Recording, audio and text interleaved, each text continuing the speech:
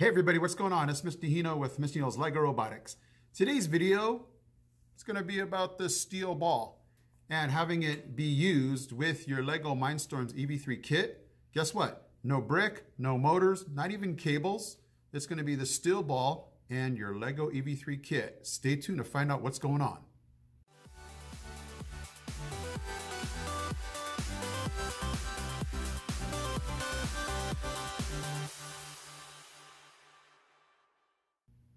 Okay, so my students have a project with this steel ball. They are going to use their LEGO Mindstorms EV3 kit. They can use extra pieces if they want, but they are going to make a steel ball timer, which means when they let this steel ball go, uh, we set our time at four seconds. So this steel ball must go through their, uh, whatever they can think up and it will take four seconds by the time they let go to the time that it stops. Let me have you take a look at what they're working on. Let's go.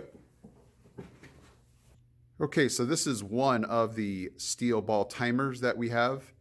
Um, you can obviously see that uh, they decided to go up and have this thing come down in a series of cascading, uh, looks like little slides.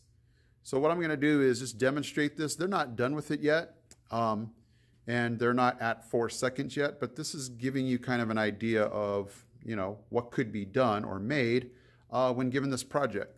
So they have the ball starting uh, up here.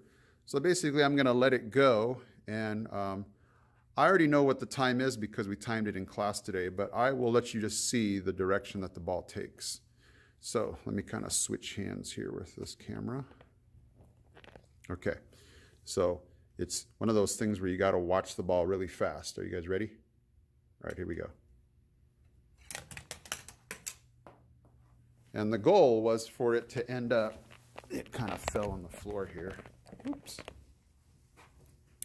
The goal was to end up having it go inside uh, these H frames there. So let's give that another shot. Whoa. And having this thing stay up was another one of the challenges. It should be able to stand up on its own and not fall over. So let's go ahead and give this another try here. Like I said, it's not perfect yet, so definitely not perfect. Okay, let me hold this thing up while I'm, all right, here we go. Okay. So, whoo, steel ball got away from me here. Okay, so this steel ball timer is going to have a lot of trial and error on it. Um, you know, four seconds when you're working on this, it's a long time. Uh, so this one here, we timed it at a little over two seconds, 2.29 seconds. So all they'll have to do now is figure out a way to get those extra you know, that second and maybe 1.7 seconds maybe. And uh, it's just going to be interesting to see what they can come up with. Definitely an engineering uh, project here uh, so that they can figure out, you know, what do we do to create more time? They can't go over four seconds. They're going to have to do something to lessen it if they go over. So it's definitely a work in progress. Uh, it was just one of those projects I thought you might find interesting. Here's another uh, steel ball timer. I did not visit this group as far as asking them to demonstrate it today because we had short periods.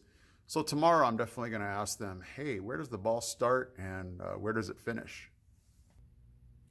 So as we end towards the end of the year here, um, I'm looking for projects that my students uh, can find enjoyable, uh, show off their engineering skills, uh, their problem solving skills, uh, and not have to, you know, do with anything with robotics as far as motors or gears. Uh, just some thinking processes that, you know, they can work with a partner through and try to solve. So those of you that are looking for projects that your students can do, let's say you've kind of exhausted a lot of the robotics projects, this would be something neat for them to do. Um, I'll also give you a link to the golf ball tower. That's kind of cool to do. We did that early in the year so students can get familiar with the parts and pieces, but that might be something that, you know, you can revisit towards the end of the year too. That might be something fun. So hopefully you're ending your year off good, uh, those of you that are in school, and this is just a neat project that you might consider, uh, those of you that are teachers or, or students. Okay, guys, I am Mr. Hino from Mr. Hino's Lego Robotics. I'm out.